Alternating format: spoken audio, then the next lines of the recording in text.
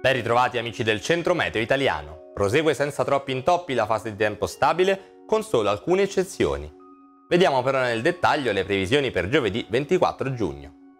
Nuvolosità in transito al mattino al centro-sud, con isolate piogge non escluse tra Lazio e Abruzzo. Ampi spazi di sereno al nord.